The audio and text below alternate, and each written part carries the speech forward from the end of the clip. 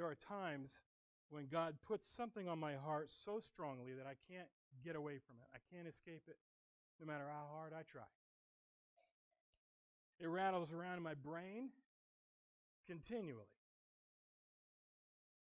I see hints of what God wants to say to me, what He wants me to hear, what He wants me to convey in the most unlikely places and at the most unlikely times. And here is the question that won't let me go What does it mean to be the church in our world? What does it mean for us to live how God wants us to live? What's the church supposed to look like from God's perspective? While we were on vacation, we had, I mean, we try to go to services on Sundays.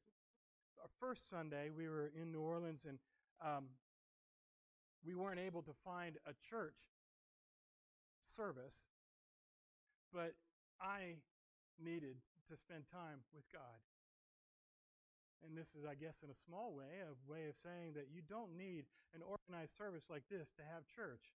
And it doesn't even have to be on Sunday. You can have church anywhere you find yourself and when you sit and talk with God and let Him talk to you. And in New Orleans, there is the oldest standing cathedral, Catholic cathedral in the United States. It's beautiful. Absolutely beautiful. And I was on my way back to get the car, and Leah said, You need to go in and spend some time with God. And I did. And it's huge, just to say. It's just an enormous building. And like I said, ornate and beautiful. So I went in and I found a spot, and there was nobody within 50 feet in any direction of that spot. And I went right there and I sat down, and they had some Gregorian chants singing in the background very often. It was very hushed and very holy, and I just simply poured my heart out to God, concerned about my family, concerned about my church, concerned about our world. And how we are to live in this world and and I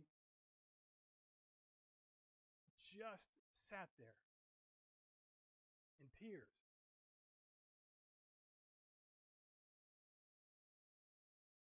Poured my heart out to God for this church, for our world. And God told me, John, just look around. Everywhere you go, there are people who need you. So after my time there, I left. And as I looked around, boy, there were a lot of people who needed you. And I thought, maybe that's it. Maybe that's what the church is supposed to look like. And God said, nope, you'll see. Past Sunday, we went to a church in Lexington. Beautiful church big church. Their foyer-way was bigger than our sanctuary. It was a modern church. They had all kinds of technology, great cameras and, and video and sound. They had everything. I'm like going, man, this, wow, what, this would be great, wouldn't it? And God says, not so quick. Look around. And what we experienced in that beautiful church in Lexington was lacking one very important thing. Neither Leah nor I could feel a real movement of God's Spirit among the people. It just wasn't there. They had everything, everything that you could ever want they had great parking without a hill.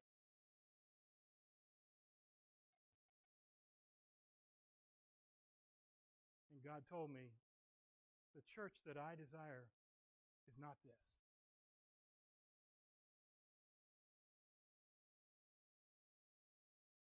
Characteristics of a church that God is blessing? What kind of church is that? And are we that kind of a church? These are big questions, hard questions. And there are so many different ways to answer them. But let's just say that the church is supposed to be a reflection of God's kingdom on earth. That we are supposed to be a mirror reflection of God Himself. And that means that God is present and active. And that the truth of His Word is taught faithfully. And that lives are being transformed for His glory. And that members of His body are growing deeper in their walk so they could look more and more like Jesus. That's what the church is supposed to look like. And I have to ask myself does this describe the church worldwide? Does this describe our church, TrueLife Community Church of the Nazarene in Mount Sterling, Kentucky? Now, that's the question that's been rattling around my brain. And so, for the next several Sundays, we're going to be engaged in a sermon series called Life Together. And today, we are going to be exploring the value of honoring one another because I believe that to be a major component of living life together as God's children in His church. So, if you have your Bible with you and handy, turn with me to Romans chapter 12. And we're going to read a few verses starting at verse number 9. Romans chapter 12, starting at verse 9. And Paul says this Love must be sincere. Hate what is evil. Cling to what is good. Be devoted to one another in love. Honor one another above yourselves. Never be lacking in zeal, but keep your spiritual fervor, serving the Lord. Be joyful in hope, patient in affliction, faithful in prayer. And share with the Lord's people who are in need.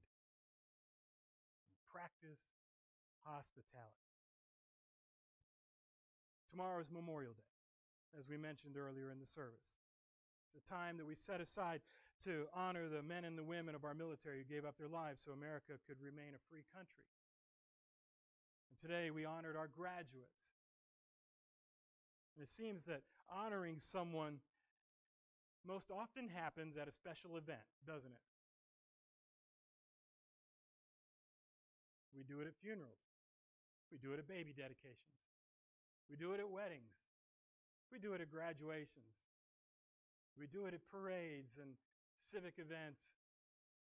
It always seems that we reserve honoring someone for a special event. But if that's all we do when we honor one another, then we're missing the mark. We miss the point. A key aspect of how God wants His church to live life together. Honoring others is not just for special times, it's an everyday, how you treat one another kind of a thing. Show me a church where the people fail to honor one another, and I'll show you a church that is dead or close to it. Honoring others is a very important part, a vital part of being a healthy church. It was so important that Jesus modeled it for us in the upper room. He took his outer clothes off, put a towel around his waist, and got down on his knees and took a basin of water and washed his disciples' feet. Now, we often think of that as that was a lesson in service. But that's only part of it. Jesus honored them by serving them. The real lesson there is the value that Jesus put on them as he served them.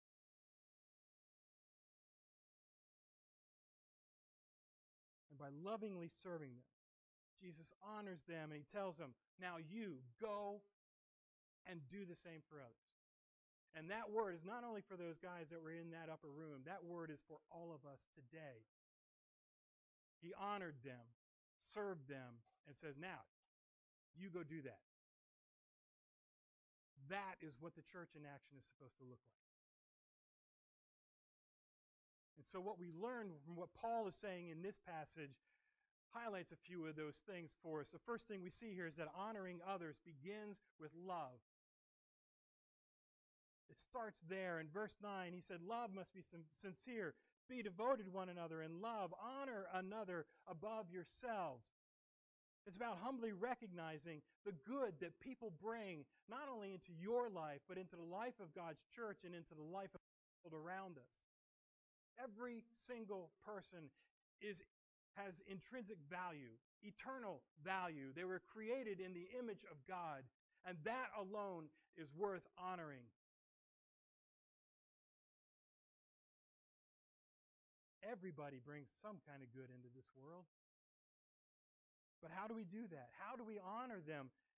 Well, Paul said in Philippians chapter 2, verse 3 and 4, he says, Do nothing out of selfish ambition or vain conceit, rather in, okay, hard word here, sorry, not sorry, rather in humility.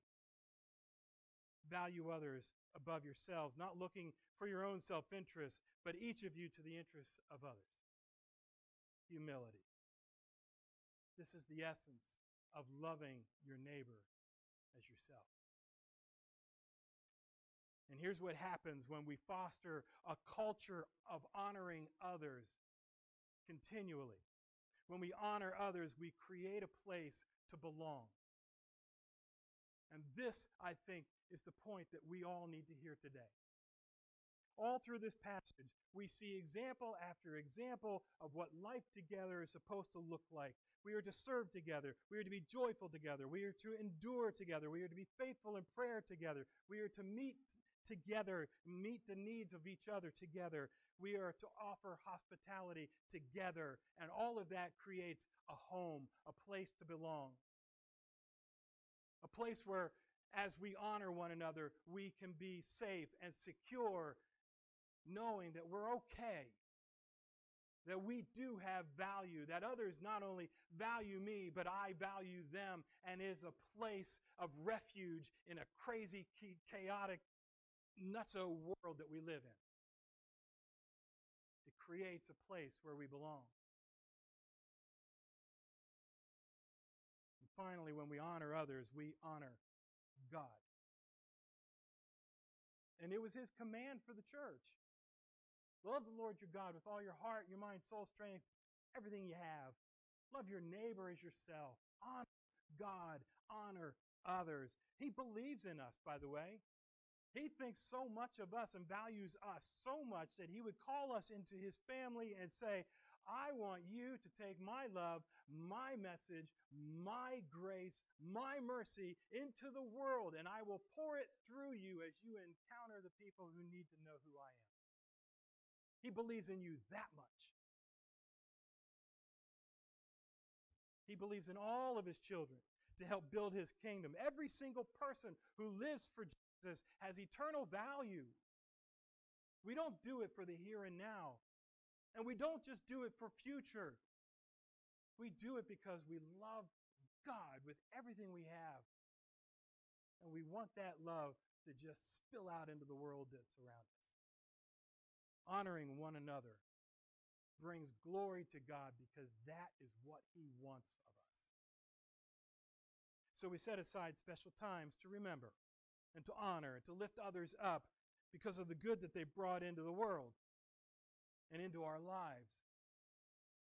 But it is so much more than that. It's something that we need to be doing every single day. But how? I mean, you all are practical people. You like it when I give you a list of things that you can do, and I'm like that too. You know, you get faced with somebody saying, Well, how do I honor somebody? Well, I got a list for you. I didn't put them on the screen, so if you want to write some of these things down, great. I'm all for it. But quite honestly, as you hear this list, you're going to be thinking to yourself, well, I already do a lot of that stuff.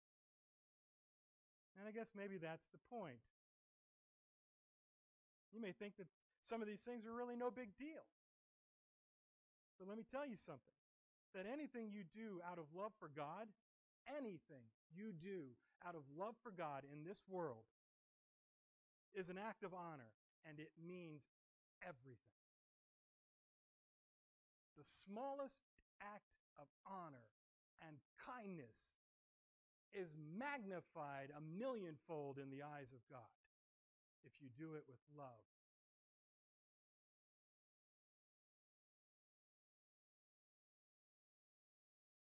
So here's a list of ways and you can get started in honoring people every single day of your life.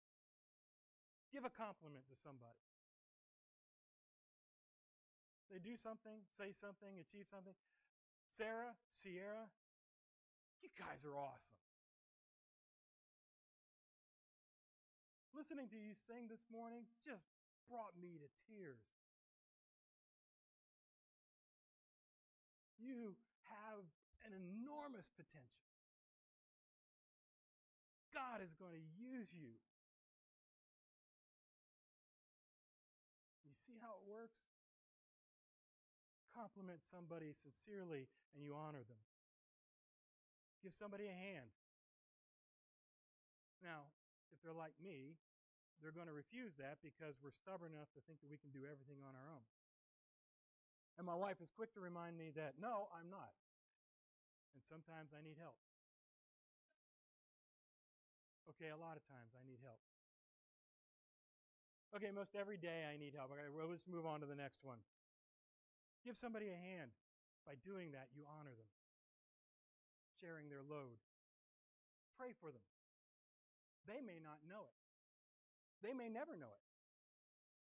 But when you pray for them, you are lifting them to the throne of grace. You are lifting them before God Himself. And that, in and of itself, is an honor that has eternal consequences. Don't ever devalue or underestimate the power of your prayer as you intercede on somebody else's behalf. Don't ever do that. Because even the smallest prayer means as much as the greatest long winded prayer you've ever heard anybody pray. You pray for somebody, pray from your heart, and God will hear and answer. That's how you honor someone. Do a devotional together. Grab a friend and say, Hey, I'm wrestling with this particular passage. What do you think about this? And then talk about it. Grow together. Grow closer together. Grow deeper in God. Give somebody a small gift. Doesn't have to be much. Every time my grandchildren come and visit me, my refrigerator is full of all kinds of pictures that often make absolutely no sense. But they're all given with love. And they honor me. They honor Leah. Give them a gift. Give some loving advice. If you've been down a rocky road, then you know what somebody what somebody's going through and they're going down the similar kind of road. If you've lost a loved one and God has helped you, the next time you encounter somebody who's lost a loved one, you can give some loving advice on how to get through that.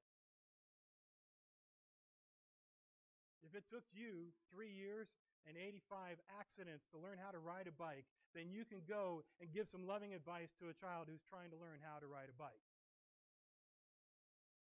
And by doing so, you honor. Listen to them.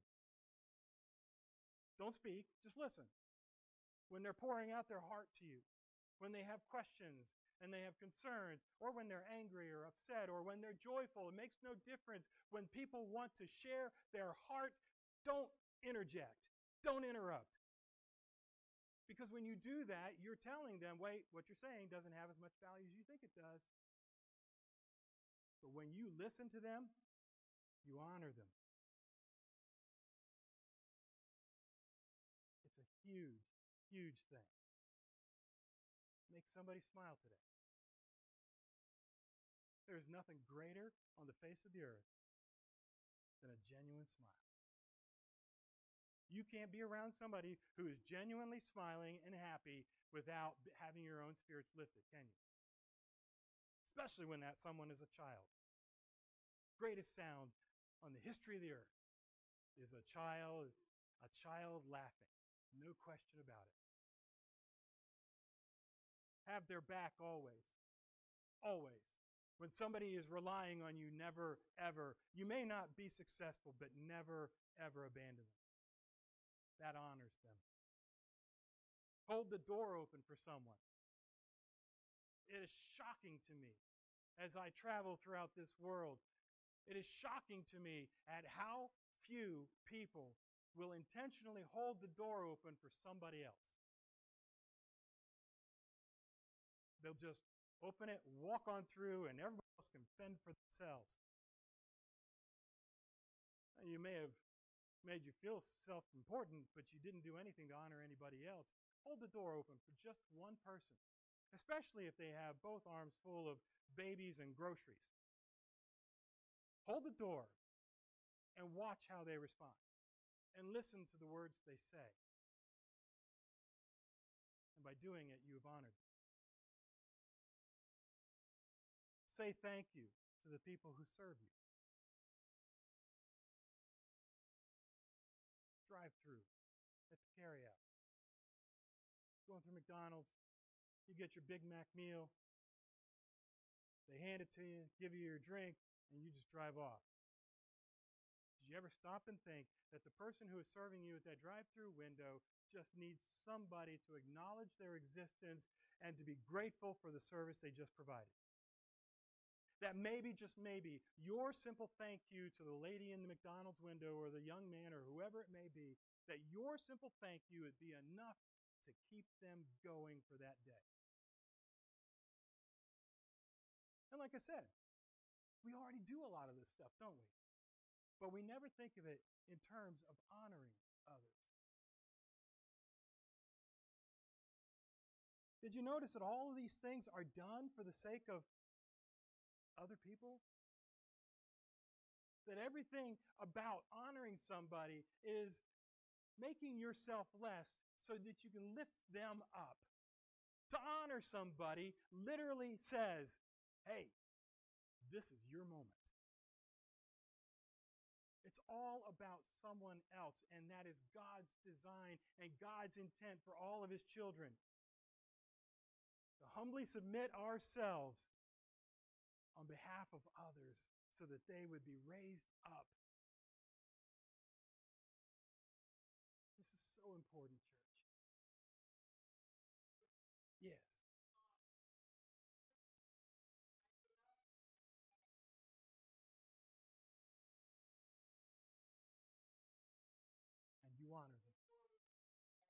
Yep. Yep. Mm-hmm. Yeah. And that is how we honor one another right there. It's a great example. Thank you, Lisa. See, when you show somebody honor, you lift them up, you inspire them, you encourage them.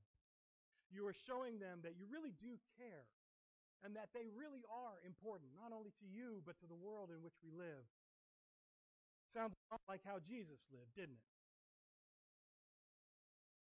Everywhere you look in the Gospels, you see Jesus honoring people. Whenever he taught them, whenever he healed them, whenever he walked the road with them, whenever he did whatever he was doing, he was honoring people. And that's exactly what he wants for his church. It's no secret we don't have as many people coming to our church as we did in the past. It's not, I mean, it's, let's look around. I mean, but could you imagine if we made honoring each other a major part of our culture? Could you imagine what that would look like? First of all, we would all feel better because we have other people lifting us up all the time. And as you lift them up, they lift you up and each other, and how that works and so the, the challenges that we face are really no big deal, that they're in God's hands because we have honored one another. But could you imagine what lifting each other up and selling each, uh, celebrating each other on a daily basis, something, could you imagine what that would be like if it just came naturally to us? Now, I want you to think then, imagine a community that is literally right outside those doors that is starving for that. They are the ones that desperately want somebody to know that they exist, They are the ones who desperately want to know that they have value. They are the ones who desperately want to be lifted up for even for just a moment. Now imagine if those two worlds collide. What would happen then? You see, this is the essence of what it means to be Christ in our world. To lift up, to bind up, to encourage, the people in our community who don't even know who Jesus is yet, but they can see him when we honor them. They see him in us. And they would then see that this would be a place where they could belong. Have to do is tell them about it. And when you think about that, the mere act of telling somebody that Jesus loves them is an honor to them because it makes their lives better than it was, even by extending the invitation. This is what it means to be the church to love, to serve, and to honor others so that God is exalted, that God is lifted up in the lives of our people, the lives of our community, and that those lives are transformed by the power